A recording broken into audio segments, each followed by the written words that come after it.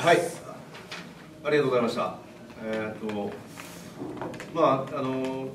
結果に関しては非常に悔しい結果に、まあ、なったと思います。まあ、アウェーということ、それから、まあ、沼津さんのチームということを考えて、まあ、当然、厳しいゲームになるとは思っていましたけれども、まあ、お互いのいい時間っていうのはあったと思うんですけれども、やっぱその中で我々、チャンスにやっぱ決めきれないとか、あそういったところをものにできなかったっていうところが、まあ、やっぱりこういう結果になったのかなというふうに思います。でまあ、よくあの我慢をする時間は我慢できて、えー試合の流れで我々の流れを作ることもできたんですけれども、